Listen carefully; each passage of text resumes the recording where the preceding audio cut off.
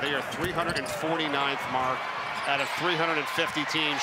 His first year he ever coached in professional basketball in Perkins fouled on his way. If it's an offensive pass.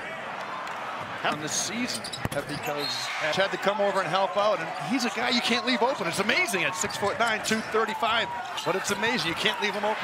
Per Collins kicks it over for Perkins, working on top end, and he gets by him. Watson misses the three. Perkins running. And fouled by Chatman. Rocky Balboa hit the body. For Chatman after being called. The green light is lit. Their free throws. Collins trying to take on all comers. And it's an offensive rebound, feeds the cutter, Perkins.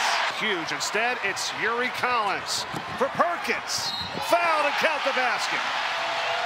Backing them down. Yeah, talking with member tonight. Number three in white. He's got it again. Hot hand. Continues. They've got the ball looking at the paint in the last three minutes. Perkins. Big shot against Toppin. Offensive board, Perkins. And a foul is called. Coming up tomorrow, Saturday College Hoops on ESPN. Number 10. Perkins says two timeouts left. Dayton has one. Possession arrow favors the Billikens. Perkins! Two Flyers by a point. Perkins. Big night. Oh. It continues.